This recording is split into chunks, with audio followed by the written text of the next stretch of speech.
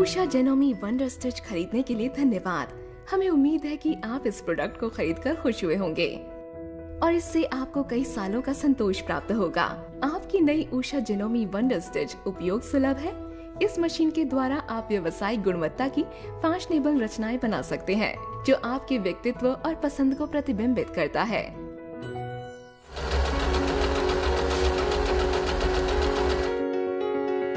Usha wonder stitch एक बहुत ही शानदार तरीके से डिज़ाइन किया गया है जो बेहद हल्का है। ये एक ऑटोमेटिक जिगजैग सिलाई मशीन है और इसमें एक कैरिंग हैंडल भी दिया गया है।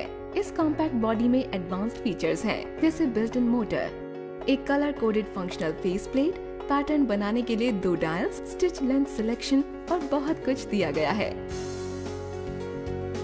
इसमें built in needle threader built in thread cutter और ट्रिपल स्ट्रेंथ स्टिच फ़ंक्शन भी है। वंडर स्टिच में फ्री आर्म होता है, जो कि चौतरफा बुनाई में मदद करता है। बिल्ट में लाइट के साथ ऑन ऑफ़ बटन भी है।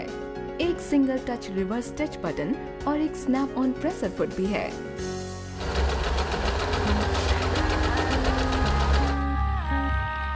उषा वंडर स्टिच एक बेहतरीन सिलाई उपकरण है, जिससे आप मनचाहे सिलाई पैटर्न्स बना सकते हैं। इसके साथ कुछ उपयोगी और प्रभावी एक्सेसरीज जैसे pickout foot zipper foot sliding button hole foot और एक ब्लाइंड हेम फुट भी उपलब्ध है। इसके साथ कुछ अन्य एक्सेसरीज जैसे बॉबिन्स सुइयों का एक सेट और एक सीम रिपर भी मिलता है, जो कि ऊषा वंडर स्टिच को एक प्रबल और संपूर्ण पैकेज बनाता है।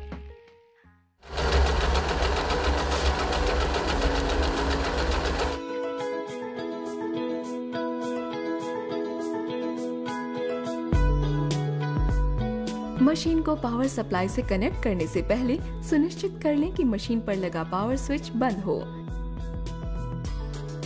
अब मशीन प्लग को मशीन सॉकेट में लगाएँ और पावर सप्लाई प्लग को आउटलेट में लगाएँ। मशीन और स्विंग लाइट को जलाने के लिए पावर को ऑन कर दें।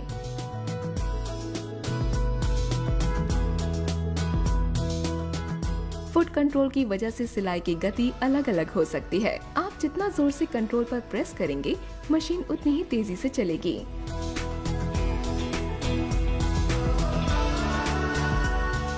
दी एक्सटेंशन टेबल जो कि सिलाई की सरफेस को फ्री आर्म सिलाई करने के लिए हटाया भी जा सकता है।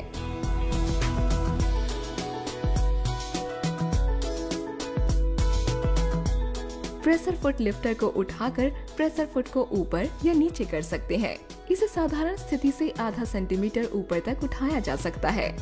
प्रेशर फुट को हटाने के लिए हैंड व्हील को अपनी तरफ़ घुमाएँ और सुई को उसकी उच्चतम स्थिति तक ले जाएँ। प्रेशर फुट को उठाएँ, फुट होल्डर के पीछे दिए गए लीवर को दबाएँ और प्रेशर फुट निकल आएगा। प्रेशर फुट को जोड़ने के लिए पिन की फुट पर इस तरह रखें। जिससे कि पिन फुट होल्डर के ग्रूव के बिल्कुल नीचे हो। फुट होल्डर को नीचे करें, जिससे कि फुट अपनी जगह पर लॉक हो जाएगा।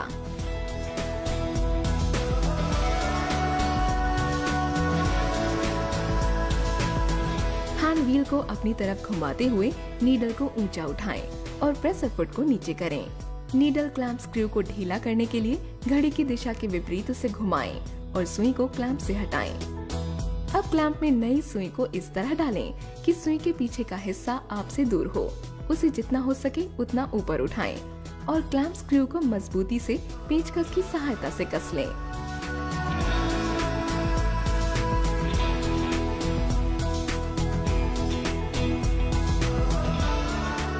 स्पूल पिंस धागे को पकड़कर रखता है और मशीन में धागे की एक निरंतर सप्लाई बनाकर रखता है। स्पूल पिन को इस्तेमाल करने के लिए उसे ऊपर खींचें और बाद में स्टोरेज के लिए उसे नीचे कर दें।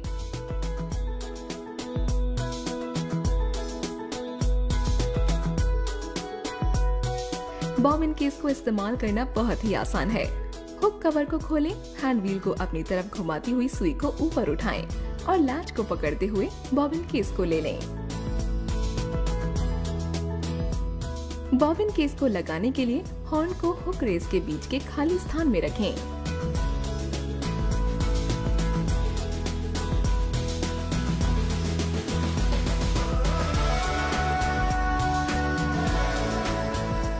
को बाहर की तरफ़ खींचें। धागे की रील को स्पूल पिन पर लगाएँ, रील से धागे को खींचें और उसे बॉबिन बाइंडर थ्रेड गाइड के चारों ओर लपेटें। अब बाहर की तरफ़ से अंदर की तरफ़ बॉबिन के छेद में धागे को डालें और बॉबिन को बॉबिन बाइंडर स्पिंडल पर रख दें। उसे दाएँ तरफ़ धकेलें। अब धागे को खाली जगह से पकड़ें और फुट कंट्रोल को धीमा कर दें। जैसे ही धागा बॉबिन होल के पास पहुँचे, वैसे ही मशीन को रोक दें। बॉबिन को पूरी तरह घुमाने के लिए फुट कंट्रोल को धीमा कर दें।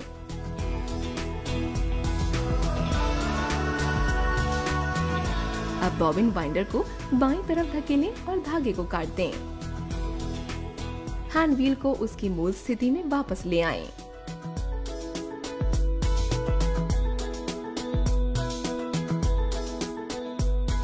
बॉबिन को बॉबिन केस में रखें और ये सुनिश्चित करें कि धागा घड़ी की उल्टी दिशा में खुले अब धागे को टेंशन स्प्रिंग के नीचे से खींचें और अंत में उसे डिलीवरी आई में डाल दें धागे के कुछ इंच का हिस्सा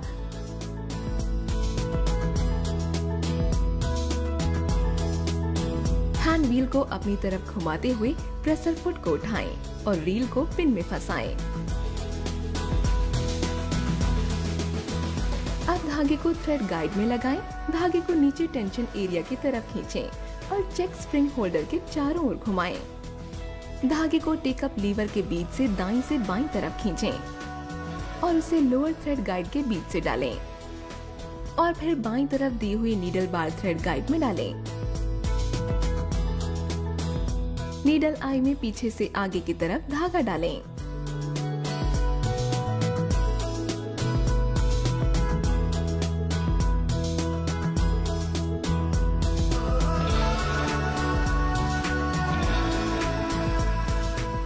को उसकी उच्चतम स्थिति पर ले जाएँ।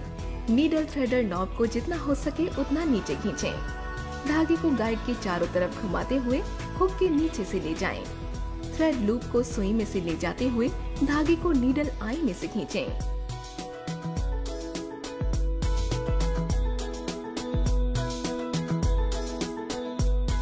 प्रेसर फुट को उठाएँ और नीडल थ्रेड को हल्के हाथों से पकड़ें। हैंड व्हील को धीरे धीरे अपनी तरफ़ घुमाते रहें, जब तक कि सुई नीचे न चली जाए और टेकअप लीवर अपनी उच्चतम स्थिति तक न पहुँच जाए। हल्के से नीडल थ्रेड को खींचे, जिससे कि बॉबिन थ्रेड में एक गोला बन जाए।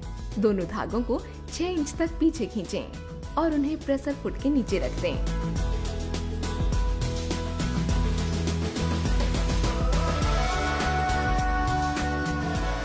धागे का तनाव, सिलाई के सामान, कपड़ों की परतें और सिलने के तरीके के हिसाब से तय किया जाता है जब धागे का तनाव बहुत ज़्यादा हो तो उसे कम करने के लिए थ्रेड टेंशन डायल का परिमाण कम कर दें। इसके विपरीत डायल का परिमाण बढ़ने से धागे का तनाव बढ़ जाता है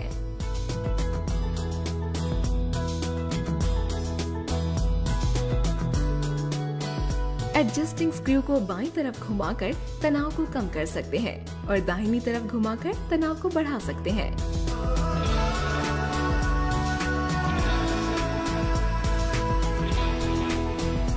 उषा वंडर स्टिच एक स्पेशल पैटर्न सिलेक्टर डायल के साथ आती है, जो आपको दिए गए पैटर्न में से आपकी मनचाही स्टिचिंग स्टाइल चुनने में मदद करता है।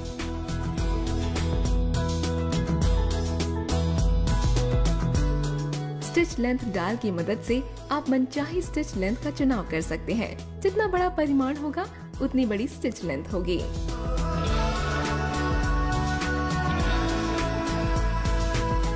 रिवर्स स्टिच बटन की मदद से आप उल्टी सिलाई भी कर सकते हैं। यानी जब तक आप उस बटन को दबा कर रखेंगे तब तक मशीन उल्टी सिलाई करती रहेगी। हुक कवर को खोलें, ड्रॉप लीवर को नीचे की तरफ़ से खींचें और उसे दाहिनी तरफ़ ले जाएँ। सामान्य सिलाई के लिए फ़ीड डॉग को ऊपर होना चाहिए और मशीन के शुरू होने पर वो हमेशा ऊपर की स्थिति में आ जाएगा।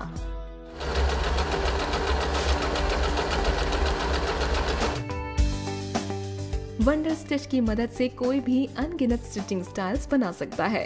तो चलिए, तैयार हो जाते हैं अपनी ऊषा वंडर स्टिच से सिलाई करने के लिए और अपनी क्रिएटिविटी दिखाने के लिए।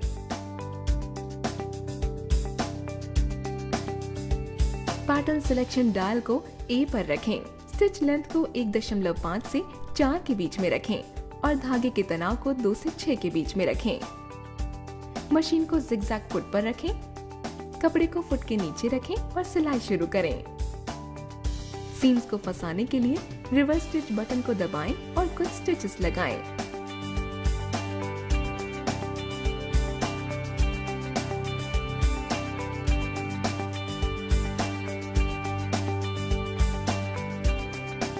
पैटर्न सिलेक्शन डायल को ए पर रखें। स्टिच लेंथ को एक दशमलव पाँच से चार के बीच में रखें और धागे के तनाव को दो से छह के बीच में रखें। मशीन को जिगजैग फुट पर रखें। कपड़े को फुट के नीचे रखें और सिलाई शुरू करें।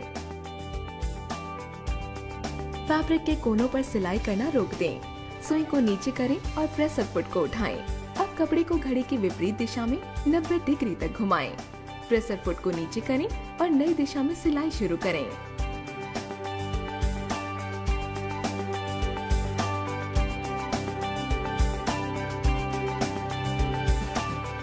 पैटर्न सिलेक्शन डायल को सी पर रखें। स्टिच लेंथ को शून्य दशमलव पाँच से चार के बीच में रखें और धागे के तनाव को दो से पाँच के बीच में रखें। मशीन को जिगजैग फुट पर रखें।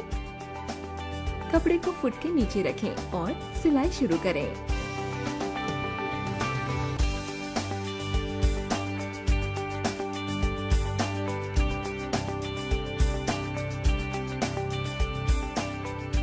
सिलेक्शन डायल को ए पर रखें स्टिच लेंथ को एस एस पर रखें और धागे के तनाव को दो से छह के बीच में रखें।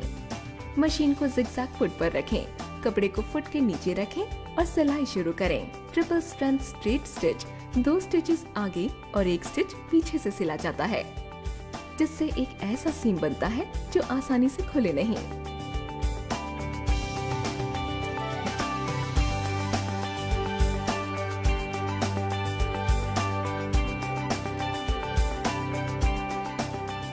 सिलेक्शन डायल को बी पर रखें। कोई भी स्टिच लेंथ चुनें और धागे के तनाव को एक से तीन के बीच में रखें। मशीन को जिगजैग फुट और फ़ीड डॉग को नीचे करें। फैब्रिक को फुट के नीचे रखें और बटन को प्लेसमेंट मार्क पर रखें। अब पैटर्न सी चुने ताकि बटन का छेद फुट के स्लॉट के साथ आ जाए। कुछ स्टिचेस लगाएँ और आपका बटन तैयार है।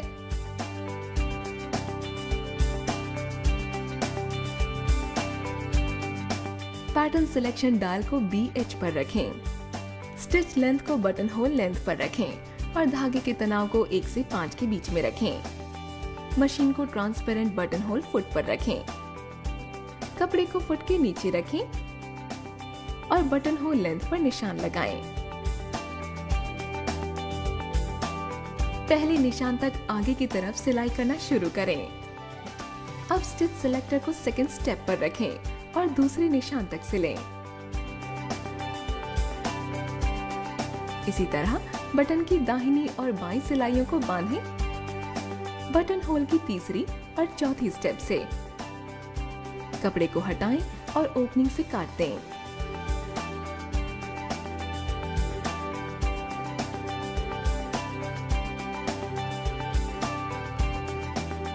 पैटर्न सिलेक्शन डायल को ए पर रखें। स्टिच लेंथ को एक दशमलव पाँच से चार के बीच में रखें और धागे के तनाव को तीन से छह के बीच में रखें।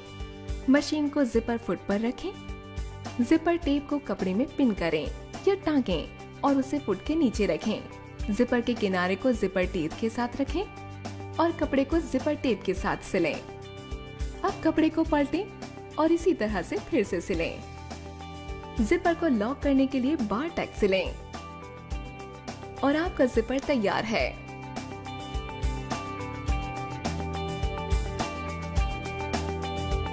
पैटर्न सिलेक्शन डाल को जी पर रखें। स्टिच लेंथ को दो से तीन पर रखें और धागे के तनाव को छह से आठ पर रखें। मशीन को बटन होल फुट पर रखें। कपड़े के फोल्डेड किनारे को फुट के स्लॉट पर रखें और सिलाई शुरू करें। सुई कपड़े के किनारे से टक्स बनाते हुए बाहर जानी चाहिए।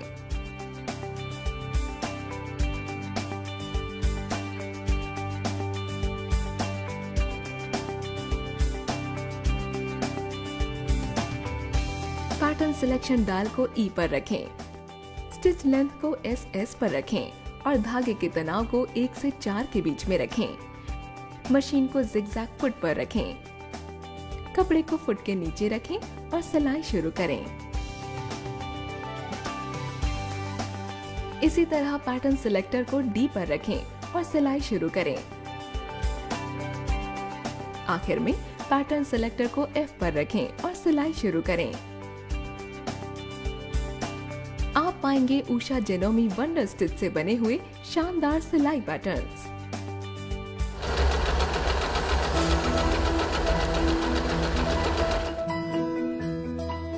रख रखाव की प्रक्रिया शुरू करने से पहले मशीन का पावर स्विच बंद कर दें या उसे निकाल दें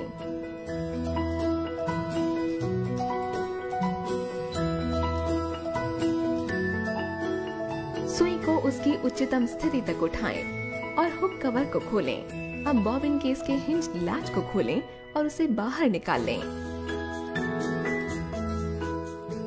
हुक रेस रिंग होल्डर को खोलें और उसमें से हुक रेस रिंग निकाल लें। अब हुक को निकाल लें। हुक रेस को ब्रश और एक कोमल सूती कपड़े की सहायता से साफ़ करें हुक रेस यूनिट को दोबारा लगाने के लिए सेंटर पिन की सहायता से हुक को लगाएँ और उसे सावधानी पूर्वक हुक रेस के अंदर लगा दें। उसमें शटल रेस रिंग को जोड़ें। होल्डर्स को पीछे की स्थिति में घुमाते हुए हुक रेस रिंग को लॉक कर दें और बॉबिन केस को उसमें इंसर्ट करें।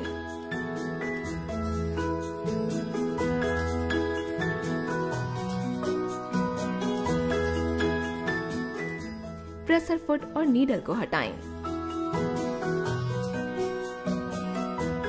नीडल प्लेट सेट स्क्रू और नीडल प्लेट को भी हटाएँ।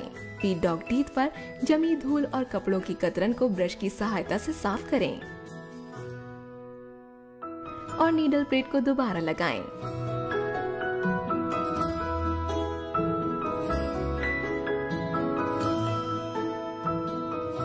सिलाई के लिए लाइट फेस प्लेट के पीछे दी हुई है बल्ब बदलते वक्त अपनी उंगलियों का ध्यान ज़रूर रखें, क्योंकि वो गर्म हो सकता है। बल्ब हटाने के लिए उसे पुश करें और बाई तरफ़ मोड़ दें। ठीक उसी तरह बल्ब बदलने के लिए उसे पुश करें और दाई तरफ़ मोड़ दें।